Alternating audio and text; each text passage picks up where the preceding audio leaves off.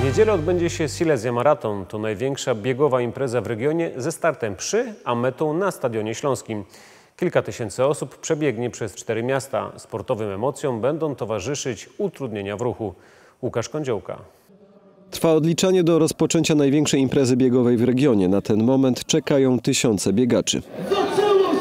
Najbliższą niedzielę 1 października już po raz 15 odbędzie się Silesia Maraton. Zawodnicy będą rywalizowali na trzech dystansach: maratonu, półmaratonu i 50 km.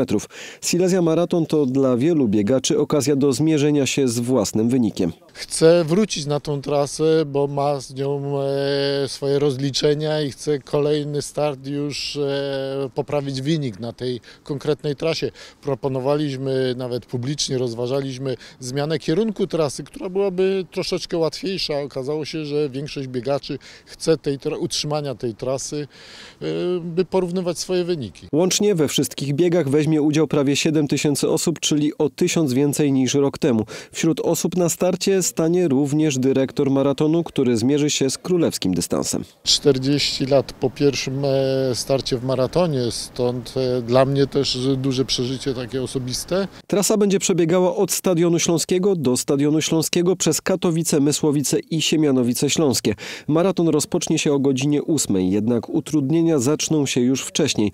Muszą się na nie przygotować m.in. osoby korzystające z komunikacji miejskiej. Zmiany tras zostaną wprowadzone dla około 70 linii autobusowych, a ponad 100 przystanków zostanie wyłączonych z obsługi. Tramwaje będą kursować bez większych przeszkód. uruchomimy dwie specjalne linie autobusowe.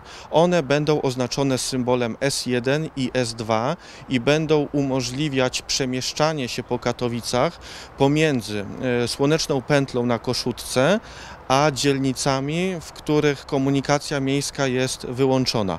Chodzi tutaj między innymi o Bogucice, Józefowiec, czy też o osiedle Kukuczki. Utrudnienia zakończą się około godziny 14, kiedy wszyscy uczestnicy powinni być już na mecie. Ulice będą sukcesywnie otwierane po przebiegnięciu ostatniego zawodnika.